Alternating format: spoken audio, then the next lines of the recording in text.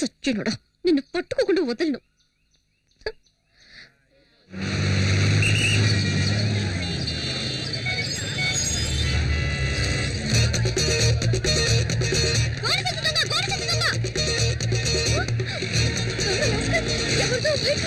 కొట్టేస్తున్నాడే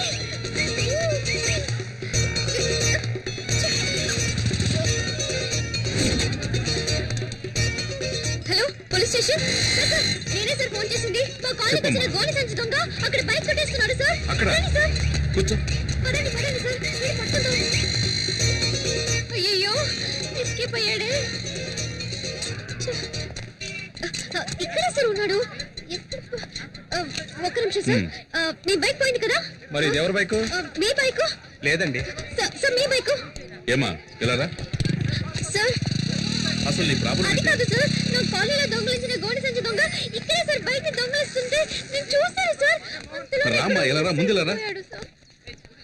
మీ కాలనీలో ఏం దొంగిలించాడు? మా కాలనీలో వినాయకుడిని దొంగలించాడు పొద్దున నా టైం వేస్ట్ చేసావు కదమ్మా భలే అమ్మాయి. సార్, సార్, సార్, సార్, మీరు అనుకుంటున్నట్టు మామూలు వినాయకుడు కాదు సార్. అందరూ జరిగిన విషయాన్ని ఫ్రెండ్స్ తోనో మిగతా వాళ్ళతోనో చెప్పుకుంటారు సార్. కానీ నేను మా వినాయకుడికే చెప్పుకుంటాను సార్. డైలీ ఆ వినాయకుడినే మొక్కుకుంటాను సార్. Promise sir. నేను వెతికేది వినాయకుడిని కాదు సార్. మా ఫ్యామిలీలో ఒక్కరిని. సరే. సార్ ఎలాగైనా పదో తేదీలోగా కనిపెట్టేయండి సార్. పదో తేదీలో కనా ఎగ్జామ్ స్టార్ట్ అవుతాయి సార్. నేను అని చూడకుండా వెళ్ళనే లేదు సార్. ఫెయిల్ అవుతానని భయంగా ఉంది సార్. ఇలాంటి వాటి మీద కేసులు పెట్టలేం. వాడి వాడి పేరు గోడి వాడు ఎక్కడైనా కనిపిస్తే వెంటనే నాకు ఫోన్ చేయి. నాలుగు తగిలించి నీ వినాయకుడిని ఓకే కప్పచెప్పేస్తాను సార్. సరేనా? Thanks sir. ఇక్కడే ఉన్నాడే. ఎక్కడికి వెళ్ళి ఉంటాడు? అప్పుడు సీతాదేవి ఏమందంటే రామచంద్రుడే నిరాకరించాక నన్ను ఆదరించే వారెవరున్నారు? అమ్మా కొడుకు ఏం చేస్తున్నారు? రామాయణం కథ వింటున్నానండి. రామాయణమా? మీరేమో పిల్లలకి పరీక్షలని ఆ కేబుల్ కనెక్షన్ కాస్త తీయించేశారు. అందుకే శక్తితో చదివించుకుని వింటున్నాను. ఆ, పరీక్షకి ఫీజు కట్ట మర్చిపోయాను. ఎప్పటిలోగా కట్టాలి? పదో తేదీలోగా కట్టాలి. పదో తేదీలోగానా? ఏంటండి? ఫీజు కట్టాలంటే నవ్వుతున్నారు. ఏం లేదు. ఈ రోజు ఒక అమ్మాయి వచ్చి వినాయకుడు కనపడటం లేదని నానా గొడవ చేసింది. తను కూడా పదో తేదీ గడువు పెట్టింది. ఈలోగా కనిపెట్టేవాలట. అది గుర్తుకొచ్చి నవ్వొచ్చింది. ఈ కాలం అమ్మాయిలు ఏదేదో వెతుకుతున్నారు. ఈ అమ్మాయి వినాయకుడి కోసం సిరిసిరిగా వెతుకుతుందంటే చాలా భక్తి శ్రద్ధలున్న అమ్మాయిలా ఉంది. వినాయకుడికి దండం పెట్టుకోకుండా వెళ్తే పరీక్షలో ఫెయిల్ అవుతానని ఫీల్ అవుతోంది. ఆ వినాయకుడు దొంగ నా కంట పడ్డాడనుకో బెండు తీసేస్తానంతే. రే నాన్న కాస్త నీళ్ళు తెచ్చివు ఇది నీ బైకేగా దొంగ సచ్చినోడా. ఇవాళ ఎలా తప్పించుకుంటావో చూస్తాను. రేయ్ నెక్స్ట్ వీక్ నీకు పెళ్ళి చేతికి ఎక్కువ పని చెప్పొద్దు.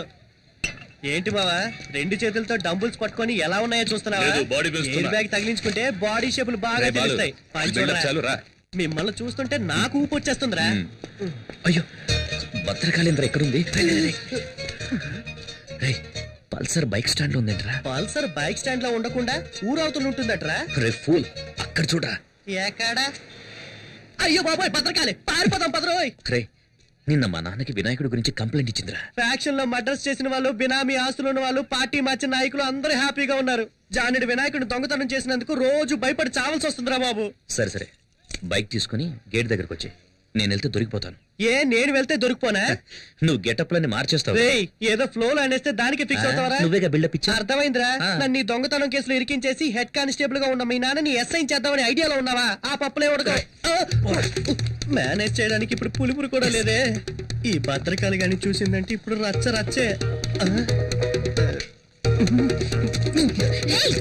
నువ్వెందుకు ఈ బైక్ నేను బైక్ తీసుకెళ్తాను ముష్టి ఎత్తుకుంటాను షకీల్ అని పెట్టి సినిమా తీస్తాను ఫుల్గా తాగి తందనాలు ఆడతాను. ఇవన్నీ ఆడడానికి హూ ఆర్ యూ ఈ మొహన్ ఎక్కడో చూసానే ఛాన్సే లేదు. ఎందుకంటే నా బొగ్గ మీద పులిపిరి లేదే ఈ బైక్ నిన్న గోడి సంచి దొంగ తీసుకెళ్ళా ఏమా తెలంగాణని ఒకడు అడుగుతున్నాడు రాయలసీమని మరొకడు అడుగుతున్నాడు ఆంధ్ర కావాలని ఇంకోటి అడుగుతున్నాడు.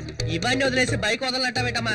ఓమ్మా అలా అయితే ఇది నీ ఇది నా బైకే. నువ్వేంటి ప్రశ్నల మీద ప్రశ్నలు అడుగుతున్నావు? నువ్వేమన్నా టీవీ నైన్ యాంకర్వా పోమ్మా. చాలా చాలా ఓ తగిన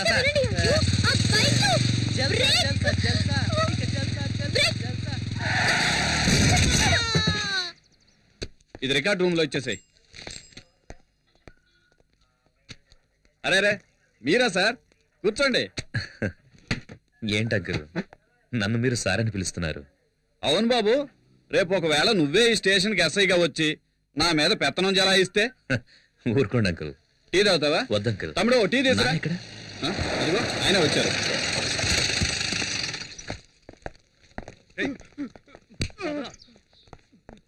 ఆ, శక్తి ఎంతసేపు అయింది వచ్చి? ఇప్పుడే నాన్న. ఇవన్నీ మాకు మామూలేరా? ఆ, ఇలారా ఆ, ఇదిగో. ఇది కిరాణా కొనుడికిచ్చే ఇది అమ్మకిచ్చే సరే ఇది తమ్ముడి ఫీజు కట్టడానికి. ఇదేమో నీ బైక్ డ్యూ కట్టడానికి. సరేనా? ఇక బయలుదేరు. వస్తానన్నా ఆ, ఉండు ఇదిగో. ఇది నీ అవసరాలకు అవసరమైతే అడుగుతానన్నా పర్లేదు తీసుకోరా.